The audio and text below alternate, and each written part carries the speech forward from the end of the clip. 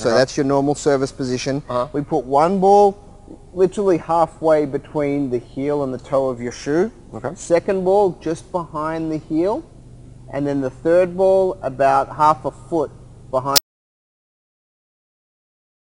your heel. So we have three distinct positions here Mm-hmm. to work on that. So I'm going to take the racket out of All your hand, right. and you're just going to go back and pick up the first ball and hand it to me. Okay. So he goes down and picks up. One thing that we want to do, and I'll put that back down so we can work through this. We want to try to keep the chest upright as much as we can. so don't do this. exactly. Don't right. bend at the back. All right, so I'm like this as much Exactly. as I can be. Okay.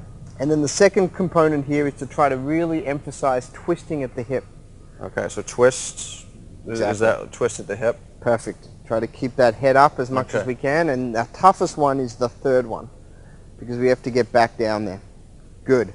So as you can see, the first one's relatively straightforward. Mm-hmm. It gets more challenging. Yep. If you can comfortably do that, go through that progression two or three times. Okay. Then we progress to then strawing, but then starting to release the energy.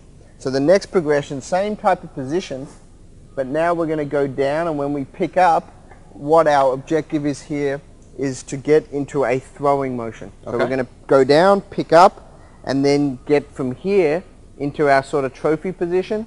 And then when we throw, we're going to do a tennis throw, which is a little bit different, where we get this shoulder over shoulder position. Okay. Okay. So down here, and then I'm gonna throw just to demo it slowly like this. Mm-hmm.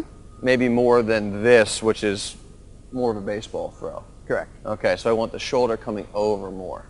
Because a really good example, a baseball throw, what will happen is when you throw, you will over-rotate early. Okay. And that's why it's a big misconception that just going out and throwing is going to directly impact your serve.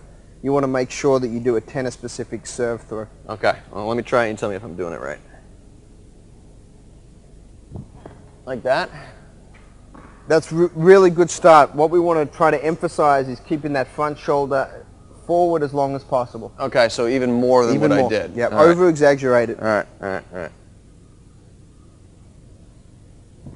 Good. So it looks a little funky. It looks a little different because what we're cool. trying to do cool doing is it. trying to do a cartwheel or shoulder over shoulder position. Okay, got it. Yep. Drop down, chest up.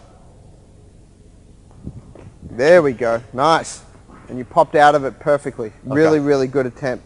So that's that series of progressions. Mm-hmm. Now the next series is we're actually going to pick up the racket and I call this the elephant drill because you'll see in a second why. So what we'll do is you'll start with a ball right. and you'll over-exaggerate here this movement like an elephant trunk. It goes back and you rotate as far as you can into that back leg and then you hit a serve. So this is not a Am real Am I trying motion. to come down real low? Exactly. Okay. Trying to come down uh, lower than normal just to get the feeling. Over-exaggerate it. Good. And the first couple times people do this, they sometimes struggle with contact, and that's okay because this The we're not The toss, it kind of throws exactly. it off. The toss gets over-exaggerated. It's not a real service motion. It's a hip involvement exercise. We're trying to really activate that back hip and work on that twist rotation. Should I try and really sit into it? Exactly. Okay. So go as low as you can, go as back as as far as you can, and try to really over-exaggerate that hip turn. Good.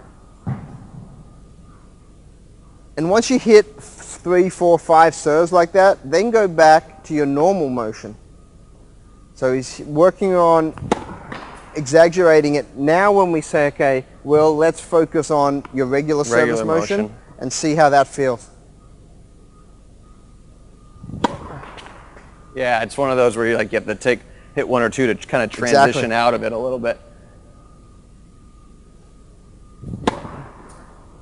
So what our objective here with this serve is really to get the body to understand that our goal is to really shift into that back leg, focus on emphasizing how important it is to twist rotate, not just drop down into a squat or knee bend position, and then be able to shift out of that and transition into an optimum serving position. And this is going to be one that you're going to feel instantly. If you're watching this video right now and you shadow your swing and you realize I'm, you know, I'm coming straight down, maybe the weight's a little bit more equally distributed versus really not only getting that twist, but when you twist back like that, you can feel the weight getting loaded up on that. I mean, I could feel it really getting loaded up. So if this is something you shadow right now, you're gonna you're gonna notice the difference if, this is a power killer you're you're uh, suffering from. Power killer. I want to show you how to develop a truly dominant serve because it all comes down to one thing, the kinetic chain. You see, the kinetic chain is the key to taking your serve speed from where it is right